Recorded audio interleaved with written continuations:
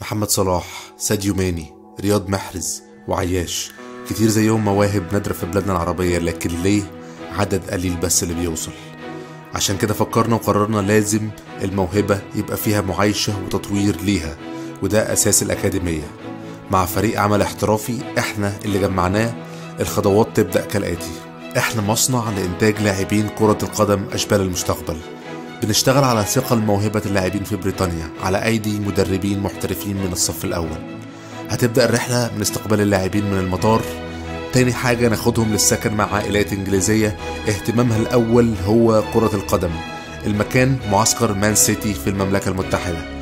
تعليم اللاعبين اللغة الإنجليزية في أفضل معاهد اللغة الإنجليزية.